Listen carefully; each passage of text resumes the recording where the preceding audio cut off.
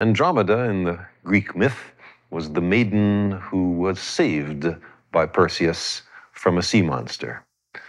This star just above me is Beta Andromedae, the second brightest star in the constellation, 75 light years from the Earth.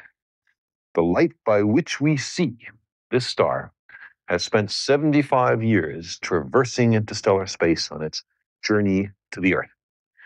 In the unlikely event that Beta Andromedae blew itself up a week ago Tuesday, we will not know of it for another 75 years, as this interesting information, traveling at the speed of light, crosses the enormous interstellar distances.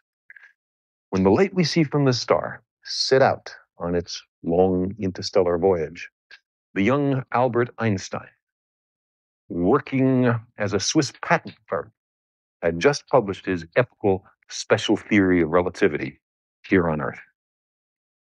We see that space and time are intertwined. We cannot look out into space without looking into time. The speed of light is very fast, but space is very empty, and the stars are very far apart. In fact, the distances that we've been talking about up to now are very small by the usual astronomical standards. In fact, the distance from the Earth to the center of the Milky Way galaxy is 30,000 light years. From our galaxy to the nearest spiral galaxy like our own, called M31, and which is also within, that means behind, the constellation Andromeda, is 2 million light years. When the light we see today from M31 left on its journey for Earth, there were no human beings on the Earth, although our ancestors were nicely evolving and very rapidly to our present form.